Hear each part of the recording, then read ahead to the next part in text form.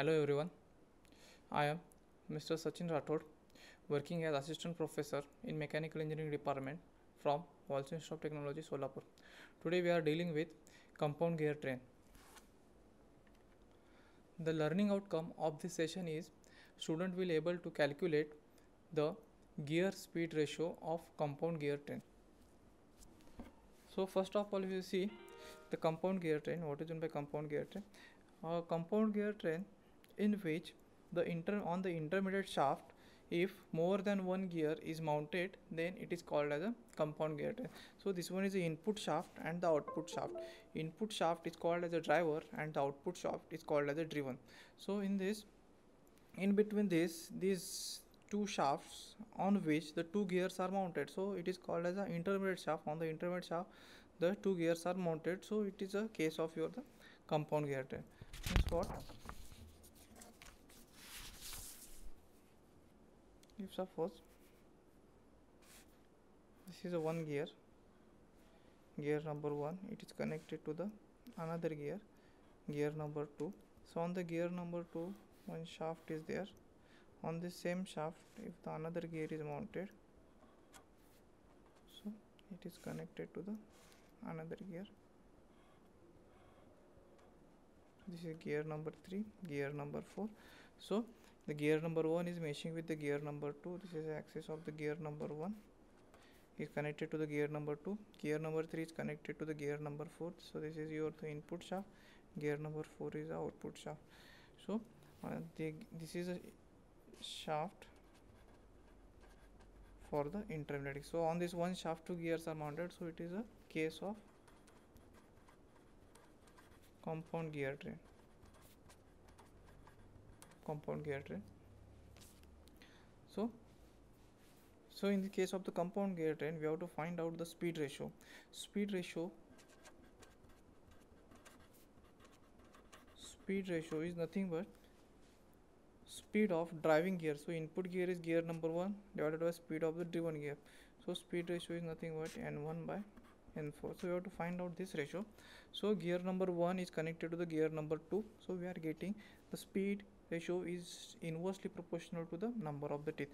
So gear number 1 is connected to the gear number 2 so n1 by n2 is equal to t2 by t1 this is equation number 1 and gear number 3 is connected to the gear number 4 so we are getting n3 by n4 is equal to t4 by t3 this is equation number 2 so just multiplying equation 1 and 2 we are getting n1 by n2 into n3 by n4 is equal to t2 by t1 into t4 by t3 as the gear number 2 and 3 are mounted on the same shaft so the speed of the gear number 2 and the gear number 3 are same. So n2 and n3 will get cancelled. Therefore we are getting n1 by n4 is equal to t2 t4 divided by t1 t3 so this is nothing but the speed ratio.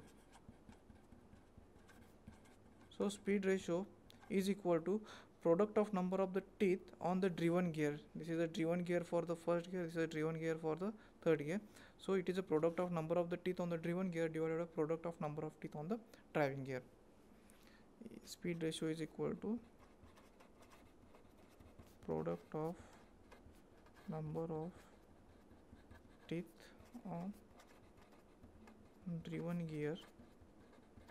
Divided by product of number of teeth on driving gear. So similarly we can observe for this compound gear train.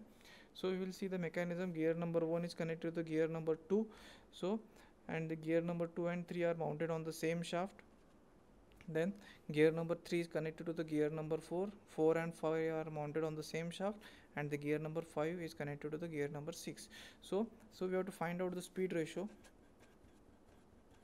Speed ratio is equal to speed of the driving gear divided by speed of the driven gear. This is a driving gear number 1 driven gear number 6 so we are knowing the relation between n1 is connected to the n2 therefore n1 by n2 is equal to t2 by t1 then gear number 3 is connected to the gear number 4 n3 by n4 is equal to t4 by t3 then gear number 5 is connected to the gear number 6 n5 by n6 is equal to t6 by t5 so this is gear number equation number 1 2 3 so if you multiply equation 1 2 3 we are getting n1 by n2 into n3 by n4 into n5 by n6 is equal to t2 by t1 into t4 by t3 into t6 by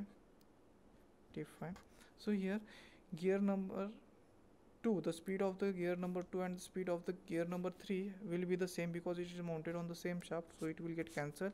And the gear number 4 and 5 are mounted on the same shaft so the speed will be the cancel but the number of the teeth are the different so we will keep as it is.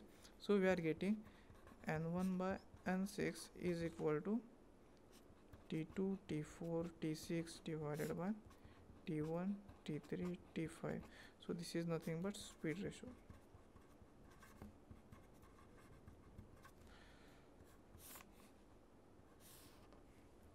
okay the speed ratio is nothing but speed of the driving. Driver divided by speed of the driven is equal to product of number of the teeth on the driven gear divided by product of number of teeth on the driving gear. Like this way we can find out the speed ratio. So, so we can think about this. What is the application of the compound gear train? Generally in day-to-day -day life we are observing the compound gear train in hand watches or the wall watches. Next we have taken one question or the problems regarding the compound gear train. So we will see the question. Now gear the gearing of machine tool shown in the figure the motor shaft is connected to the gear number a. So this is a gear number one they are given and the rotates at 975 rpm so they are given a speed of a is equal to 975 rpm the gear wheels B, C, D and E are fixed to the parallel shaft rotating together. The final gear F is fixed on the output shaft. What is the speed of F? They are asked to find out the speed of F. The number of teeth on the each gears is given below. So these are the number of the teeth.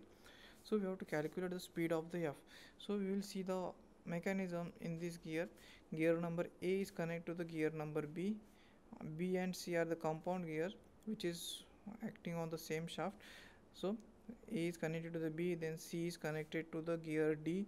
D and E are mounted on the same shaft. So whatever the speed of the D? Same speed we are getting at the E. And the gear E is connected to the gear F. So already we have seen the speed ratio. Speed ratio is equal to the speed ratio is nothing but the speed of the driving gear to the speed of the driven gear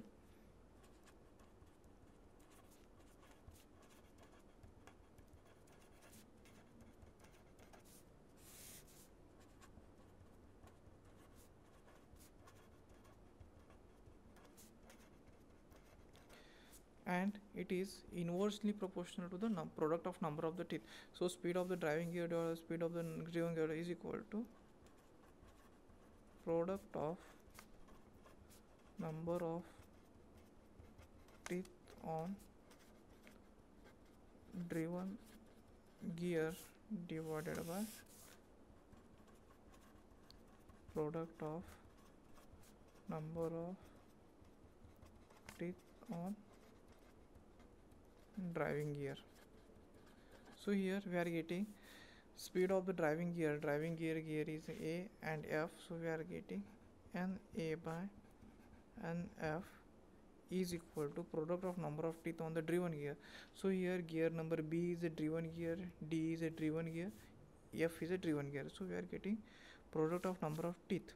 So tb into td into TF divided by product of number of teeth on the driving gear. So E is a driving gear, C is a driving gear, E is a driving gear. So we are getting TA into T C into TE. So N is the speed of the A they had given us therefore speed of the is 975 divided by nf is equal to product of number of the teeth 50 into 75 into 65 divided by 20 into 25 into 26 therefore nf is equal to 975 into 20 into 25 into 26 divided by 50 into 75 into 60 therefore we are getting the speed of nf output shaft is 52 rpm so nf is equal to 52 rpm so i have taken these references. Thank you